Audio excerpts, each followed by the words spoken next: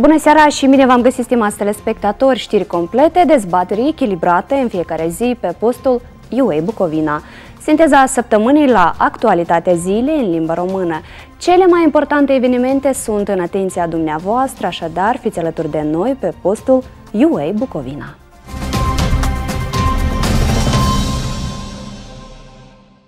În data de 4 februarie 2020, la sesiunea Consiliului Regional Cernăuți a fost adoptată decizia despre lichidarea instituțiilor regionale comunale, Sanatoriul pentru Copii Șerbinții, Sanatoriul de Tuberculoză Krasnoilsk și Sanatoriul de Tuberculoză pentru Copii Sadagura. Președintele Consiliului Regional Cernăuți Ion Muntean a fost informat despre suspiciunea de luare de mită. Acest lucru a fost făcut de către pachetul special anticorupție cu privire la material materialele investigației Biroului Național Anticorupție. Despre aceasta ne-a anunțat șef adjunctul Serviciului de Presă al Biroului Național Anticorupție, Margarita Javaga. Potrivit anchetei, șeful Consiliului Regional Cernăuți în luna iulie 2019 a cerut de la unul dintre antreprenorii din regiunea Cernăuți 400.000 de dolari pentru soluționarea pozitivă a unei probleme și anume încheierea unui complex de sănătate. Este vorba despre stațiunea Brusnița. În cazul în care participantul la concurs ar fi câștigat licența, arendașul complexului de întremare a sănătății Brusnisea în primii 5 ani urma să investească în dezvoltarea sanatoriului peste 22 milioane de grivne. Lunar urmea să plătească chiria în sumă de 81.000 de grivne. Detectivii de la Biroul Național Anticorupție au înregistrat conversația telefonică a președintelui Consiliului Regional Cernăuți Ion Muntean cu antreprenorul. Bărbatul pe care Biroul Național Anticorupție consideră că este șeful Consiliului Regional a spus că ulterior sanatoriul va fi trecut în proprietatea antreprenorului. Vorbire directă. Potrivit anchetei în perioada august-octombrie 2019, președintele Consiliului Regional Cernăuți a luat mită în sumă de 180.000 de dolari. Sanatoriul Brusnis a fost dat în arendă la 12 septembrie. În cadrul sesiunii Consiliului Regional Cernăuți, domnul Ion Muntean spune la sesiune Cine este de acord cu această propunere, votăm. Din nou, nu ajung două voturi. Să revenim din nou la chestiunea privind darea în arendă. Vă rugăm să reveniți la subiectul acestei întrebări. Convorbire telefonică. Alo, ai văzut? Am avut nevoie de 33 de voturi, au votat 33. I-am vorbit deja cu ei. Aceste filmări au fost înregistrate în biroul antreprenorului căruia îi sunt transferați banii. Ion Munteană, ia numărați 50, 100, antreprenorul. Iar în ceea ce privește apa, au mai rămas încă 40. Vom aminti că astăzi, în biroul domnului Ion Muntean, s-au desfășurat acțiuni de investigare. Cu toate acestea, la rugămintea redactorilor de la postul public de televiziune, n-a fost acordat niciun comentariu pe acest subiect. Atunci când am aflat că este suspectat de luare de mită, am solicitat din nou un comentariu. Vă propunem să-l ascultați. Ion Muntean, președintele Consiliului Regional Cernăuți. Jurnaliștii de la postul vostru de televiziune au fost prezenți astăzi aici, au văzut totul, mai mult decât atât. Nu avem posibilitate și nu știm mai mult decât ceea ce au văzut și ei. Cine dintre antreprenori este suspectat de o posibilă dare de mită președintelui Consiliului Regional Cernăuți? Parchetul specializat anticorupție a anunțat că președintele Consiliului Regional Ion Munteană este suspectat de luare de mită. Potrivit Biroul Național Anticorupție, el a cerut mită unui antreprenor pentru a închiria sanatoriul Brusnițea. De asemenea, este suspectat de dare de mită și un antreprenor privat din regiunea Cernăuți. Biroul Național Anticorupție a dat publicității o conversație telefonică în care, potrivit acestuia, Ion Muntean îi spune interlocutorului său să creeze o companie pentru a participa la concursul de luarea în arenda sanatoriului Brusnițea, iar firma trebuie să fie coproprietar cele din Tarașeni.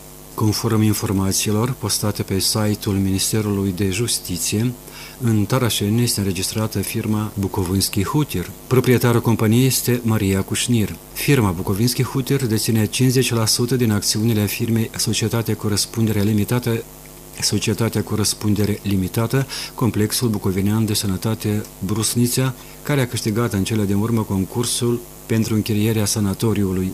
Compania respectivă a fost creată cu două zile înainte de licitație.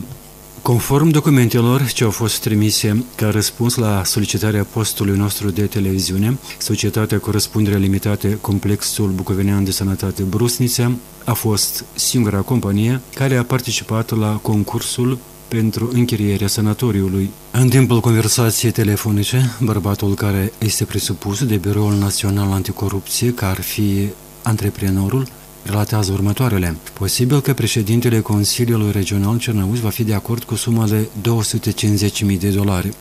În hotărârea Curții Supreme Anticorupție, care a fost pusă la dispoziția postului nostru de televiziune publică, se menționează că Ion Muntean i-ar fi spus lui Iuri Cușnir să-i dea 200.000 de dolari. Doar în acest caz, domnul Ion Muntean va contribui la soluționarea pozitivă privind închirierea sanatoriului Brusnița pentru o perioadă de 49 de ani. În conformitate cu respectiva hotărâre, detectivii de la Biroul Național Anticorupție din Ucraina au percheziționat locul de muncă al lui Yuri Cușnir la întreprinderea BAT Centru, care este situat în orașul Cernăus, pe strada Pivdenu-Chilțeva. Pe aceeași adresă este înregistrată și Societatea Corespundere Limitată, Complexul Bucovinean de Sănătate Brusnița. Într-un comentariu pentru postul nostru de televiziune, președintele Consiliului Regional Cernău, Sion Muntean, spune că, din păcate, în cadrul organelor de drept, lucrează specialiști ce fac publicitate. Acesta probabil este primul caz când doresc să-l acuze pe cineva în desăvârșirea unei fără de legi, fără a fi aduse probe convingătoare.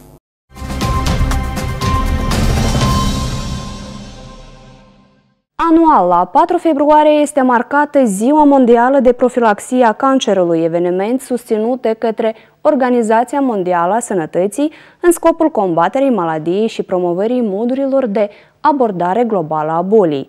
Cancerul este una dintre principalele cauze de deces în întreaga lume, afectând anual femei și bărbați, tineri și vârstnici. Pentru a afla mai amănunțit despre apariția și combaterea acestei maladii, ne-am deplasat la dispensarul oncologic regional Cernăuți, unde l-am întâlnit pe medicul oncolog, specialist calificat în acest domeniu, Gheorghe Scrândița.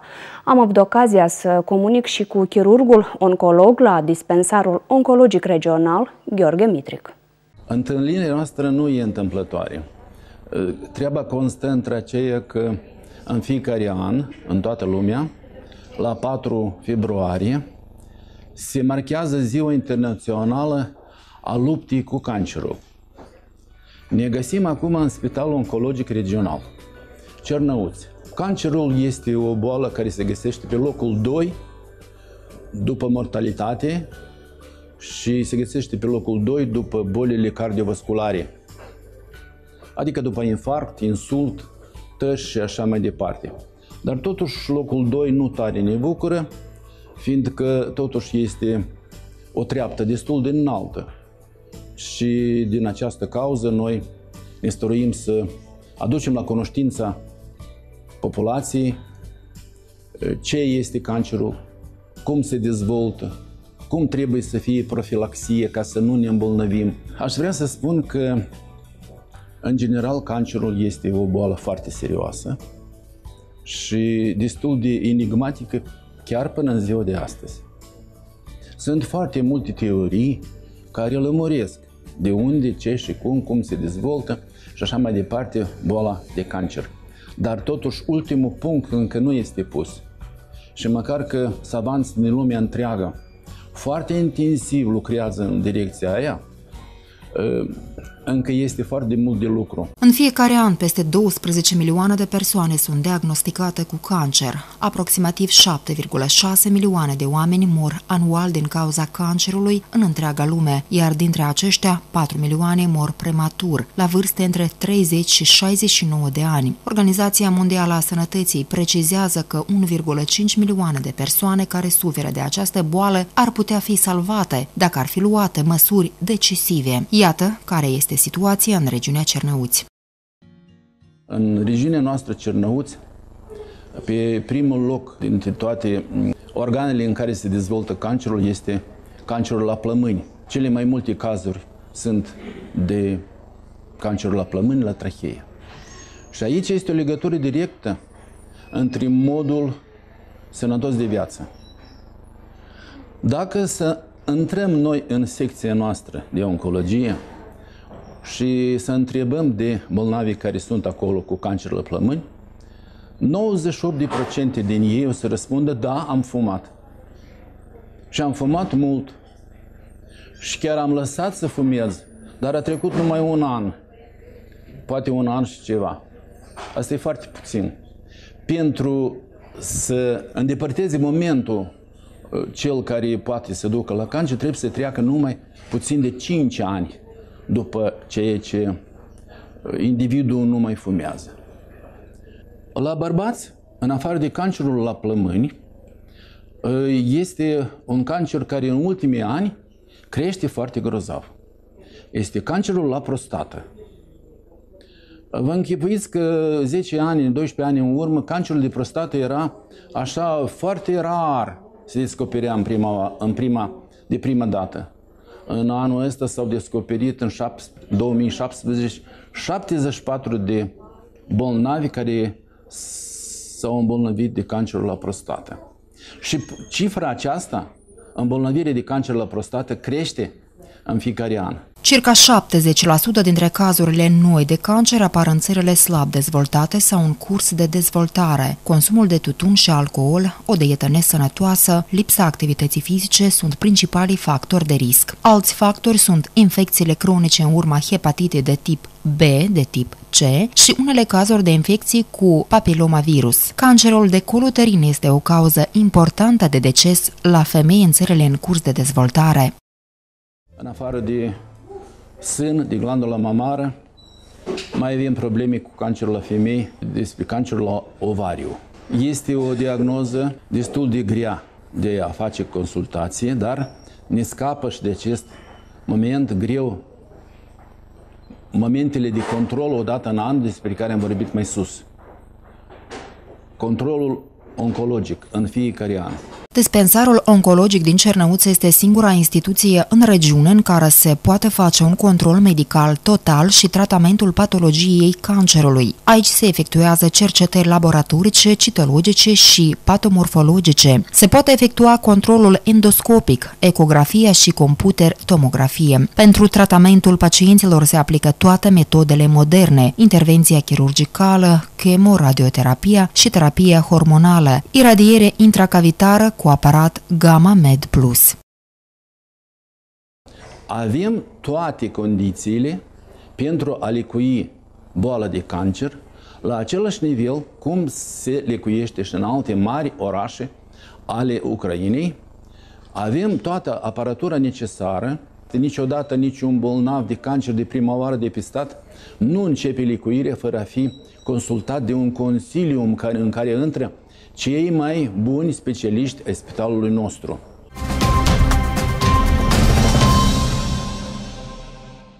Problema oncologiei este o problemă în general a omenirii și anume a țării noastre, a Ucrainei. Este o boală în creștere. Problema oncologiei și a bolnavilor oncologici este în creștere. În 2030 în lume o să fie bolnavi peste 20 de milioane de, nu, de oameni, de pacienți. Cum considerați din ce cauză?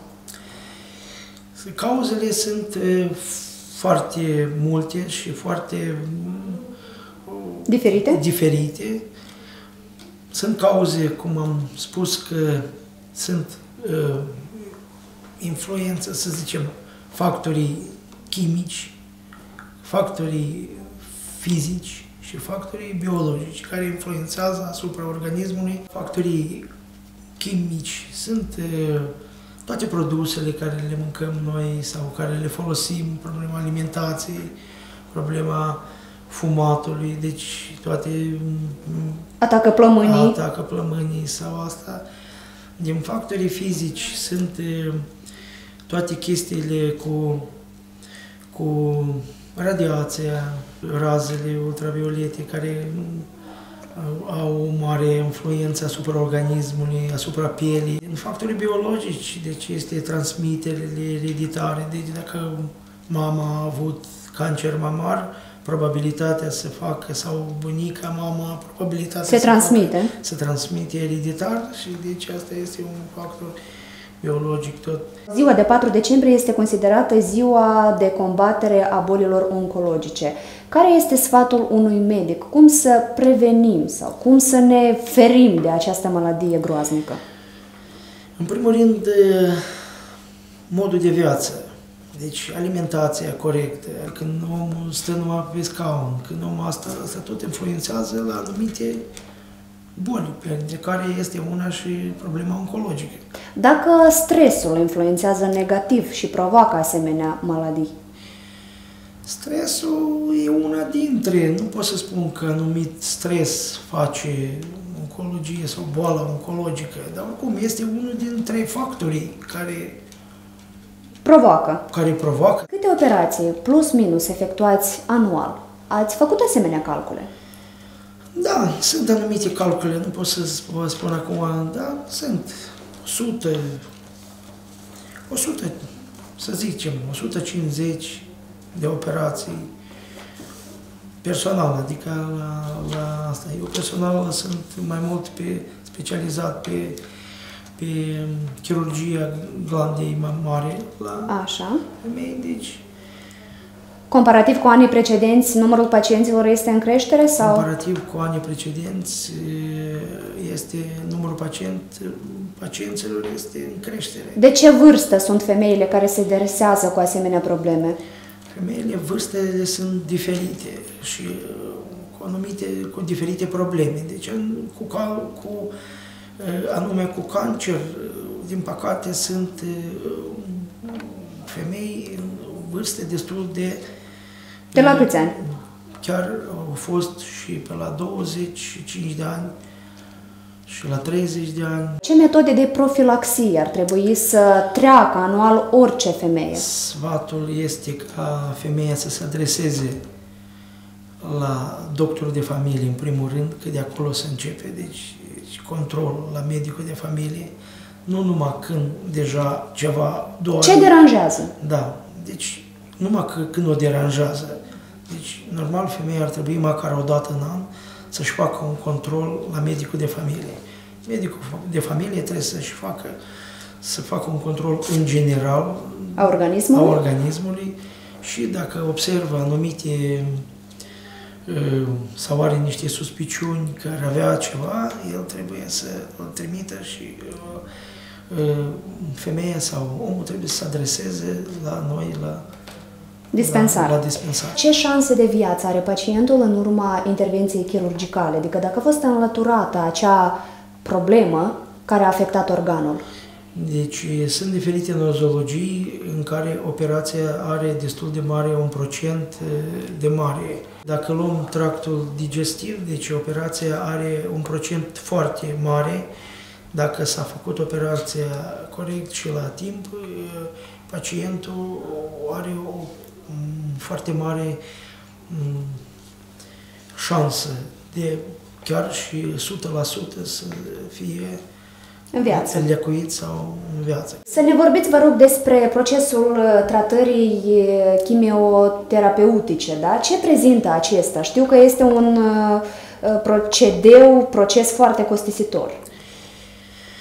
Da, una chimioterapie Chimioterapia este unul dintre metodele de, de lecuire a oamenilor cu cancer și este o, na, cum să spun, este o, pentru organism e de, destul de grea, așa, o, ca metodă de terapie. De, de terapie. Deci, pentru că chimioterapia ucide și celulele ucide celulele canceroase, cum se spune. Și cele dar, sănătoase. Dar are efect nociv și pentru celulele bune. De aceasta, acest tratament se face e, se face în combinație, se protejează, se dă e, e, medicamente și pentru protejarea celulelor sănătoase. sănătoase. Pentru ficat, protejarea ficatului, protejarea pentru inimă, pentru... Deci se Toate face, organele. Da, deci se face un tratament combinat. În final, recomand, aș recomanda uh, oamenii să, să stăruie, să ducă un mod de viață mai sănătos, mai, sănătos, mai mm, să zicem, mai activ. Și ce vă pot spune, să păstrați sănătatea. Și să se adreseze să la timp specialistilor. Și adresați-vă la timp la specialist, că, că adresarea la timp duce la o tratare mult mai eficientă.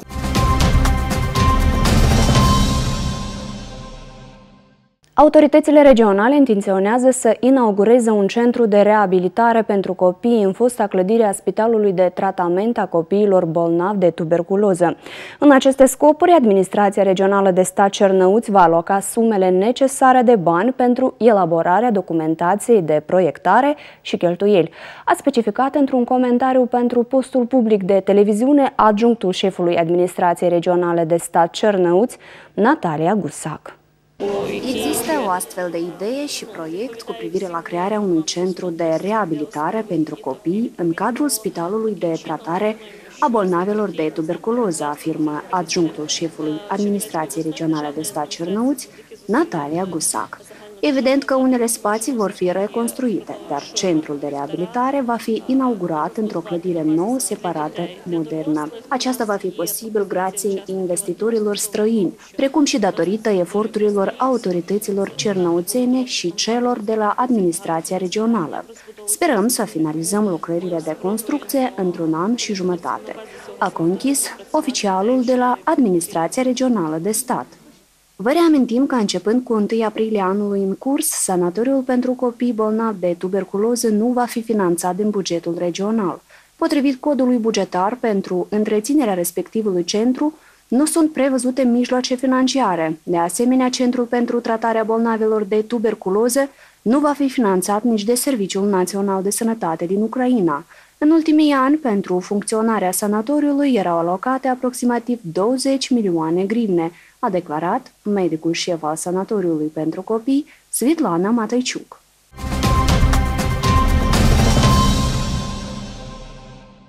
Nivelul bolilor virale respiratorii acute în regiune a depășit pragul epidemiologic cu 35%, susține directorul adjunct al Departamentului de Sănătate Maria Policiuc.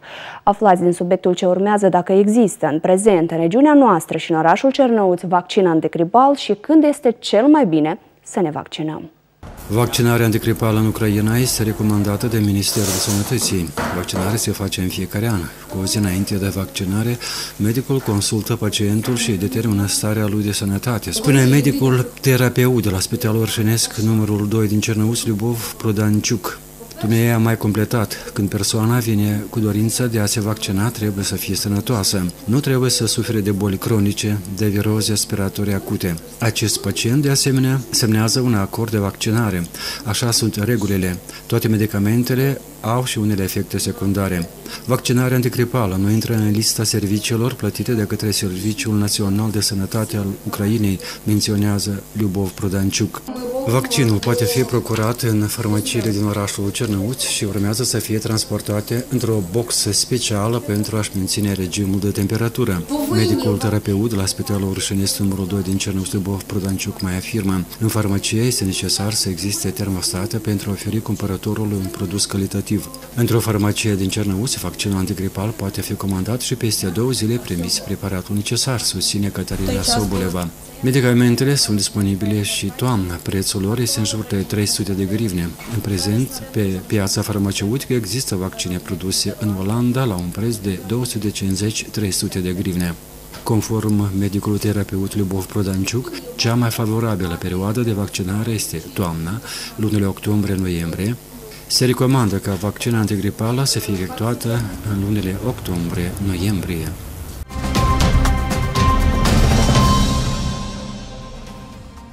Suntem la finele emisiunii de astăzi, dragi telespectatori. Priviți postul UA Bucovina și fiți la curent cu cele mai actuale evenimente ce se desfășoară în regiunea noastră și nu numai. Seară bună!